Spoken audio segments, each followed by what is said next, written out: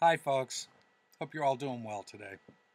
This video is a response to Christopher L's video titled, I Won't Apologize for Being Christian, which by the way I found very dramatic, Chris.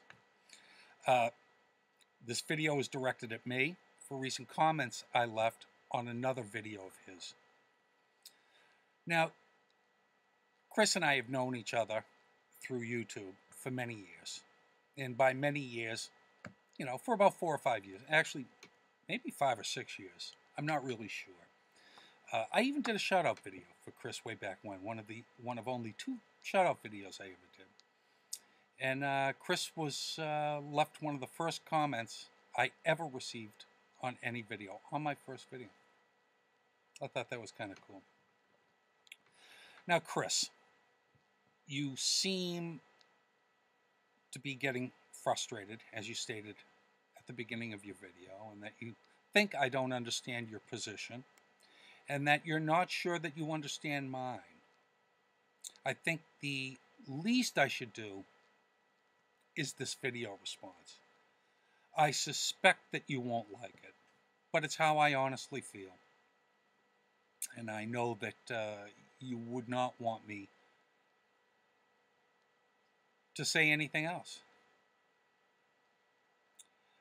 Your position is crystal clear to me, and I think it would be clear to anyone who watches the video that this is responding to. I'll put the link below in the usual spot. Here's my position, Chris. As you've I have written down here, uneloquently put it. I'm blabbering about people, perhaps like you, who actively promote inequality by targeting specific groups of people who are targeted solely because of who and what they are. This discussion that we're now having has now evolved into not only targeting them on a personal level, but expanding that to include the legislation of law and more specifically, publicly fighting against laws supporting equality of rights solely based on who or what a group is. In this case, homosexuals. I want you to notice specifically that I've said people when I said blabbering about people perhaps like you. I haven't and didn't in any of my comments to do with this subject said anything about any organization that someone might belong to that might have a doctrine supporting the notion of inequality based on sexual orientation. And this is because I don't care about that. It's you, Chris, the individual that holds these views, votes, and actively condemns these people in the public square, which is YouTube. And it's you the individual, Chris, that I'm confronting and that I'm saying to in the public square, which is YouTube, that I demand the same rights and privileges that you do under the law. No different name, no different meaning, no separate but equal. All people have the right to demand the same rights and privileges that you do under the law. I want to go on to some specifics in the video I'm replying to. Maybe you'll realize a few things that are very clear, at least to me, and why I left my original comment on Anthony Anthony's video, namely Jesus Freak 777, and then on your video response to his video.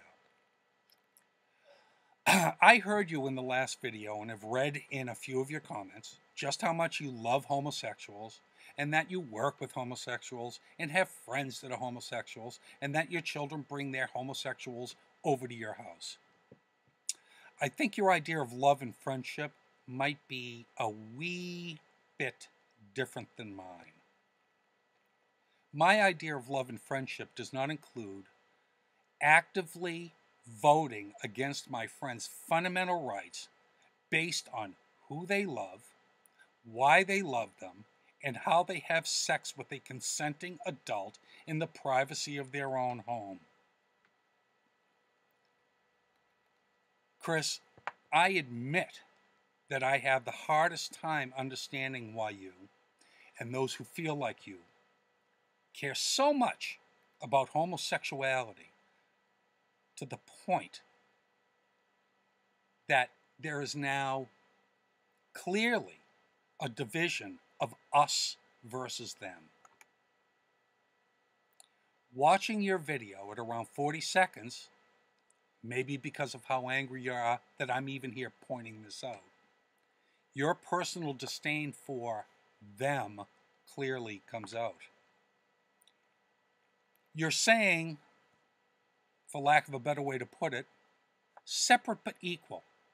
That's good enough, which in itself is not equal. Now, I'll give you a clue as to how old I am here, Chris, by telling you a remembrance of mine, seeing with my own eyes separate to- toilets in Nashville one was labeled whites only. And I remember asking my mother what that meant. And she just looked at me and shook her head. I'm not trying to force anyone to do anything. As you point out, racists remain racists. But what you may be missing is that perceptions and, and acceptances can change over time as generations come and go. We've experienced this with racism in our own country, accelerated by just laws being put into place. When you say the gays are out and bolder with each generation, you say it if it's, if it's as if that's a bad thing.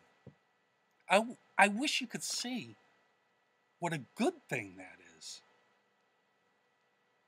You then go on to try to make the additional argument that the definition has been taken away and it confuses children that they can fi- but they can figure it out. You see Chris, I see this much differently. I see it as the definition has been clarified both legally for all of us and for children. At about 1 minute 20 seconds, you move the conversation over to your church. And believe me, I understand why. You start complaining that the original video wasn't even about the subject at hand. We're going to go back to that in just a few seconds. At 136 of your video, you say that you can see people like me accusing Christians like yourself of treating gays as less than equal simply because you are adhering to your faith. Chris, what are people like me?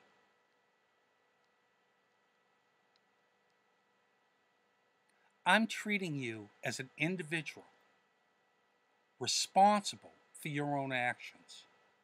I've not brought up your faith,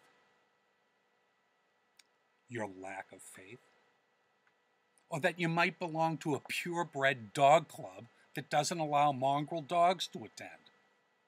This just keeps coming back.